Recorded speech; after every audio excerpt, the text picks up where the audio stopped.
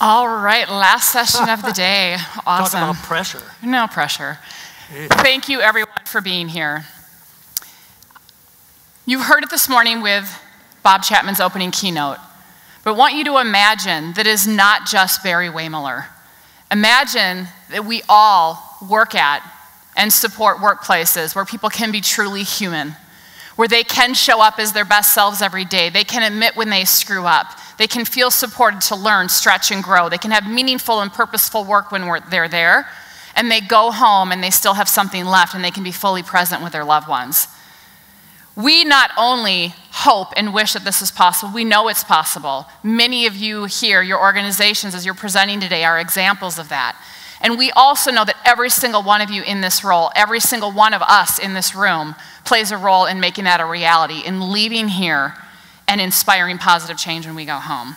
But in order to do that, we have to rethink how we've done some things. We have to rethink some outdated, mechanistic, dehumanized approaches. And specifically this afternoon, rethinking really what it means to be healthy and well and how that actually plays in to having humanized organizations where this vision is a reality and not just a pipe dream for a few.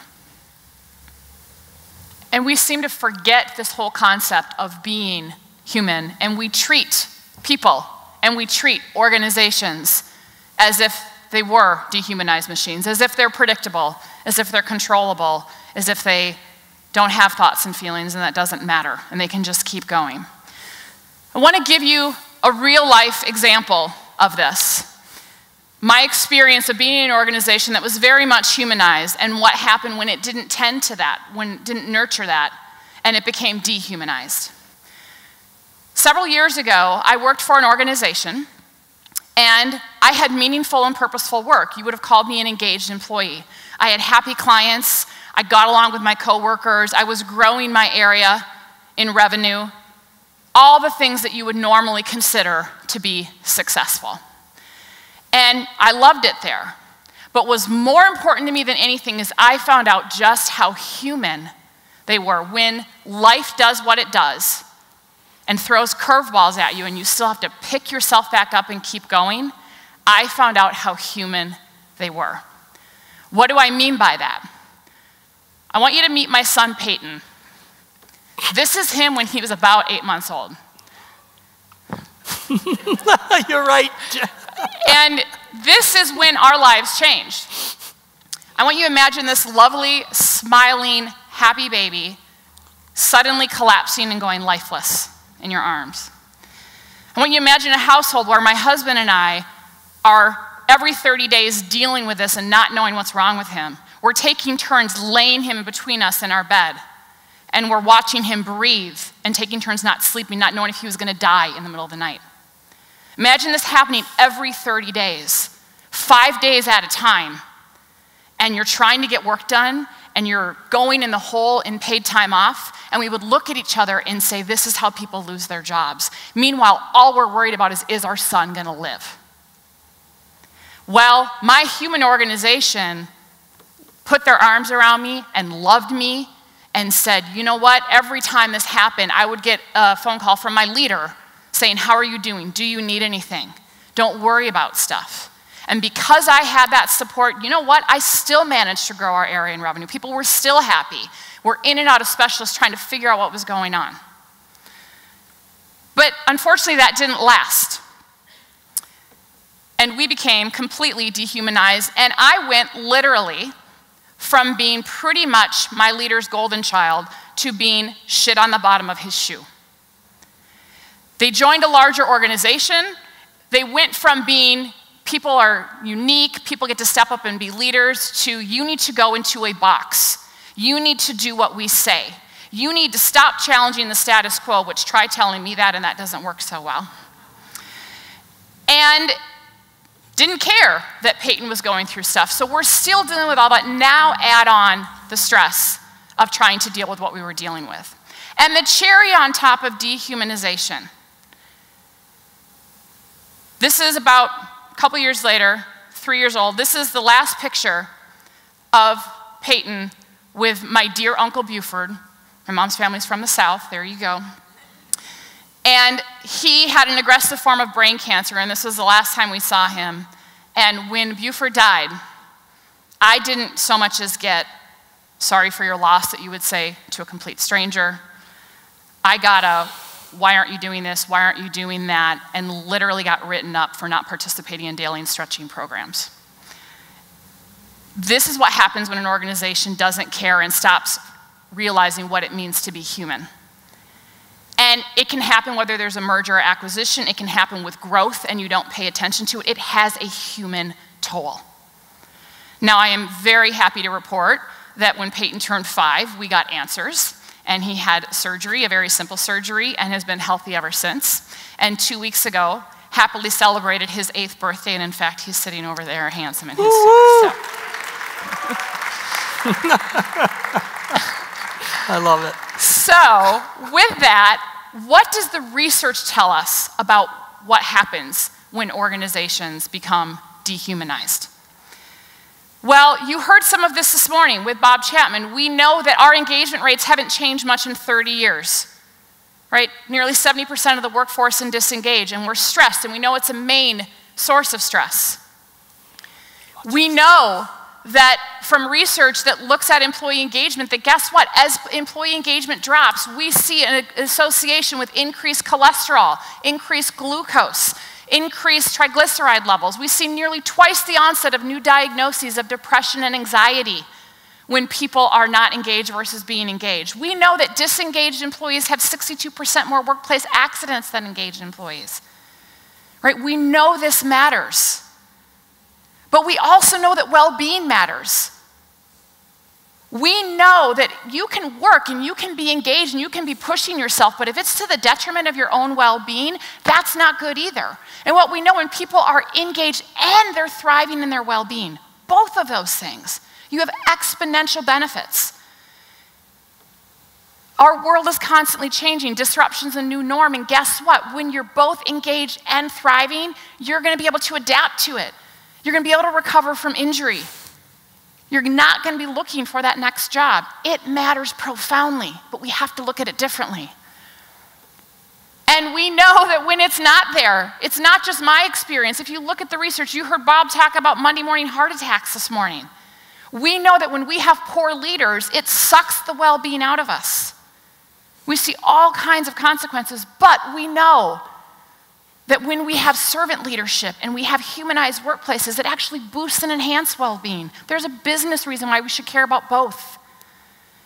And we know that those negative job conditions impact various well being or healthy behaviors. We know that people tend to turn more to drinking and smoking and drug abuse and look at some of the opioid epidemic and overeating. It makes sense. If you are going to a place where you feel like crap, you want relief.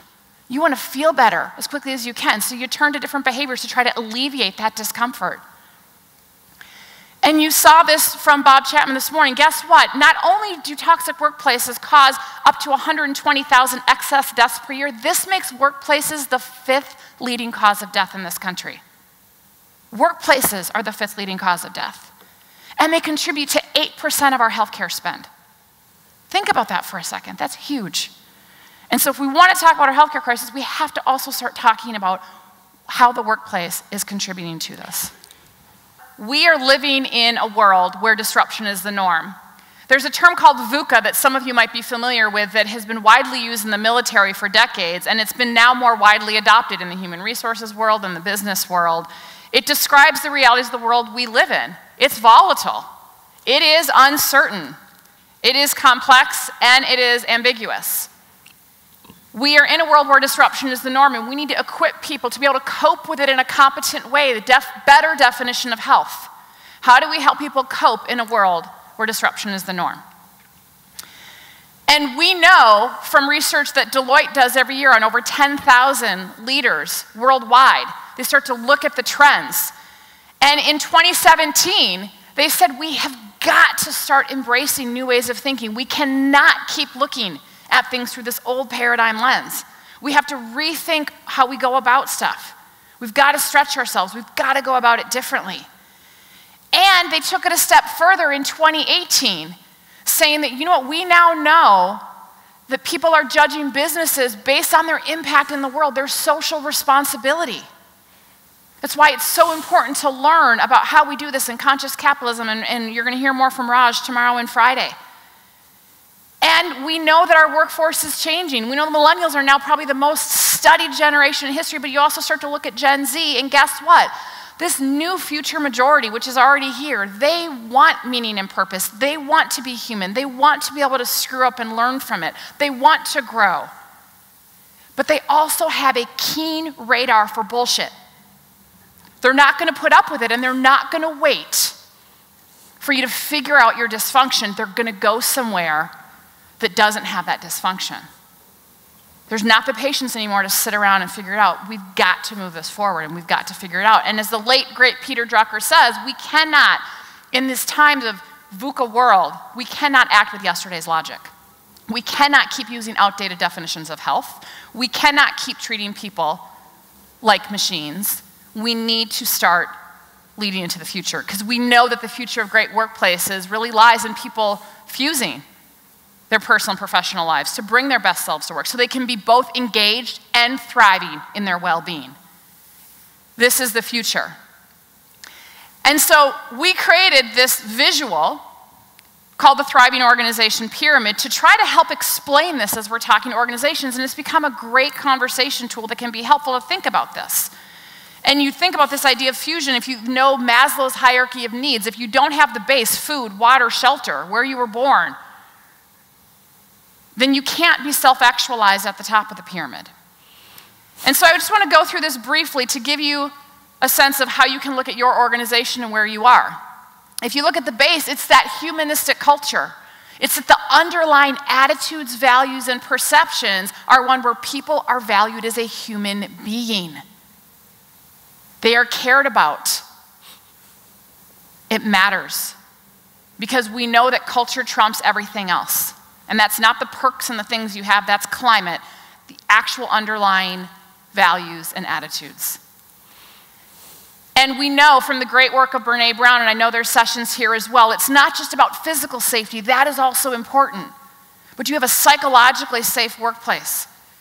Can people feel okay to say, I need help? Can they feel okay to screw up? Can they feel comfortable to stretch and grow? That's got to be at the base. If that's not there, you can't get a lot further. You want health, you want people to be able to com- cope in a competent way. We have to have a humanistic culture at the base. And then, just right with that is quality leadership because we know that every interaction anybody has with any leader within your organization reinforces his or her belief about the culture. But who is a leader? Everyone, yes.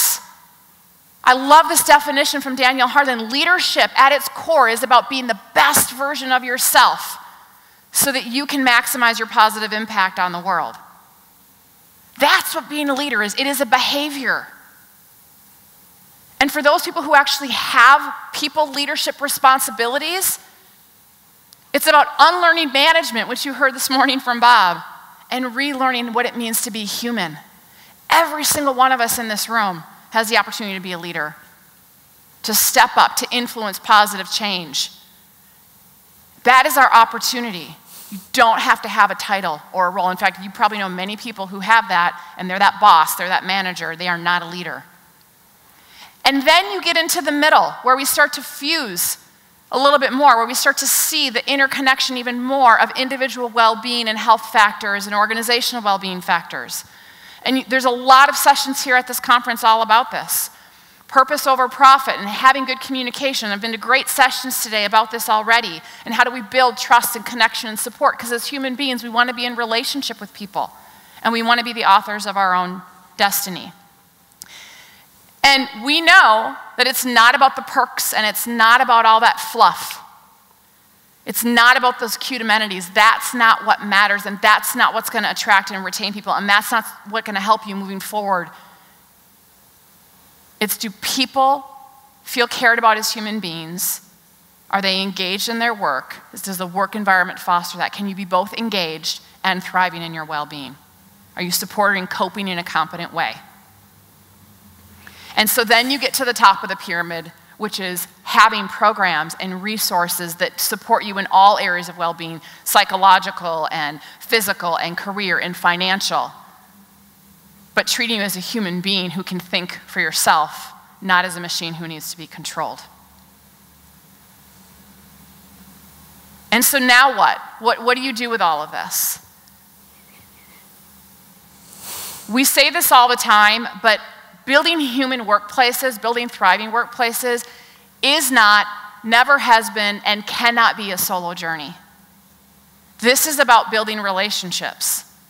And so use the networking cards here, the conversations on the back of your name tag. Build relationships here and when you go home. If you don't normally collaborate with people in training and development or wellness or safety or finance or wherever, start building relationships. Be the leader to influence change and say, what would it be like if we could all come to work and love being here and could still go home the best versions of ourselves? What would that look like? And let's start to paint that future and co create it. You do it in relationship, you don't do it by yourself. And if you look at the pyramid as a guide, just take a pulse of where your organization is as you're having these conversations with people. Is your base strong and solid? Awesome. Keep fostering that and nurturing that so you don't go backwards like the experience I had. You don't go from being humanized to dehumanized. You have to nurture it. And then start to move up the pyramid and go, well, where are there opportunities to strengthen? Where are there gaps? And move up to the top. But if you're sitting here going, I am trying to insert employee engagement programs, recognition programs, wellness and well being programs, safety and risk management. Fill in the blank, and you wonder why you're struggling, and you wonder why it's hard, and why people don't care, and ending up incenting people and doing all these dehumanized approaches. My guess is that you've got an opportunity at the base of your pyramid, and you want to have well being, you want to have wellness, you want to have health. You've got to have that solid base. And you do that by building relationships and starting to advocate for humanity. And finally, this is why we have a track here at this conference about becoming the best version of yourself. We have to move past our own self limiting dialogue. How many times do you hear yourself say things like, Well, I'm just a fill in the blank. I'm just a so and so. I'm not a manager. I'm just a human resource person. I'm just a wellness person. I don't have access to the C suite. The list goes on and on and on. Stop. We have been seeing firsthand you can affect change on the one on one level and you can affect change at the team level and start to build a critical mass within an organization. And it just takes one person being willing to step up as that leader. Stop limiting yourself and saying, I'm just a whatever. You're a leader, you're a human. You're building relationships in a network, and we're going to be supporting you after this conference with conference learning summary and post conference email tips and building community here so you can go back and put your cape on and start to put humanity back at the forefront. We've got to stop limiting ourselves by our roles and our definitions and start really stepping in to our greatness. Thank you.